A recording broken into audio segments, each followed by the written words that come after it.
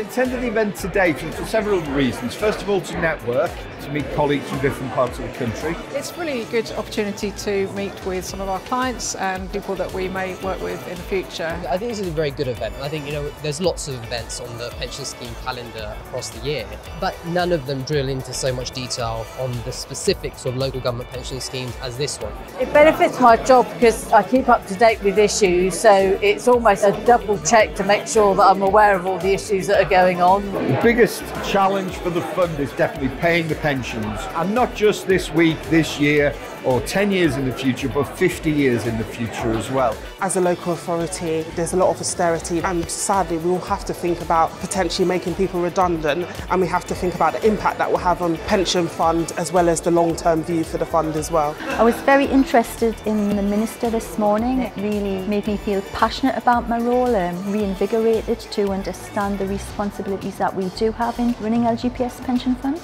I always find it interesting because you always meet someone to find a solution and have a discussion point with. It's always worth coming. Just open up your mind.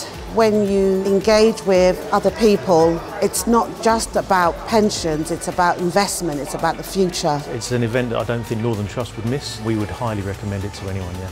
Next year, I'd like to come again. To describe the event in one word, I'd say it's educational. Great. Enlightening. Informational. Fantastic. Worthwhile.